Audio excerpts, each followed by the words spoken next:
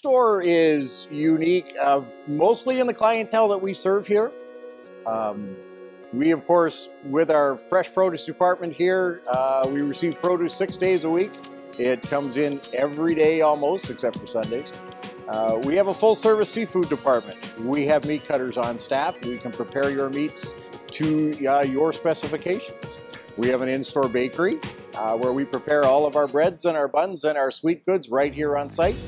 My favorite department, unbiased, would probably have to be the deli because that's where I hang out the most with sandwiches and cheeses and paninis and all kinds of good fresh baked foods and stuff. The staff behind the counter is fabulous. The guys will do just about anything for the customer, to cutting special size meats to bringing in certain items for the customers if they need that. Our services we offer to seniors is that they can phone in on a Tuesday, phone in the morning, and our lovely assistant Allison will take their order, we will shop it and have it delivered the very next day for them. So they always know that they can have nice, fresh groceries delivered to them at a reasonable price.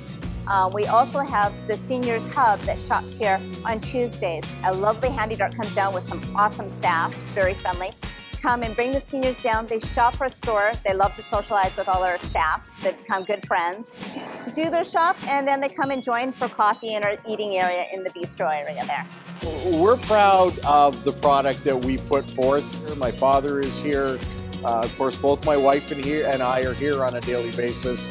Uh, my children will be working here over, over the summer outside of school. Uh, we're, we're very proud to present a family business to the families of the North Shore.